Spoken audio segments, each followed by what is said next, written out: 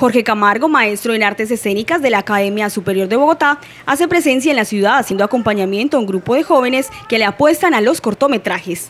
Y hay un talento increíble, increíble. Y entonces empezamos a hablar, fue como un encontrarnos como ahorita, reírnos, participar de algunos de mis conocimientos y de pronto termino descubriendo que hay muchísimo talento en Barranca Bermeja que los pelados están interpretando, están actuando de verdad y tienen unas ganas inmensas y poderosas de trabajar desde la actuación.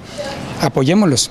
A eso vengo yo también, a apoyar, a sacar, a rescatar, a encontrar, a descubrir esos talentos que están aquí, que están dormidos. El Sofá es un corto escrito y dirigido por un barranqueño, quien nos comentó de dónde nació la idea de escribir un guion y realizar el rodaje. El Sofá es una novela eh, de mi autoría que adapté para este cortometraje para cine con el cual aspiramos a participar en festivales a nivel nacional e internacional, que precisamente hemos terminado de rodar este fin de semana.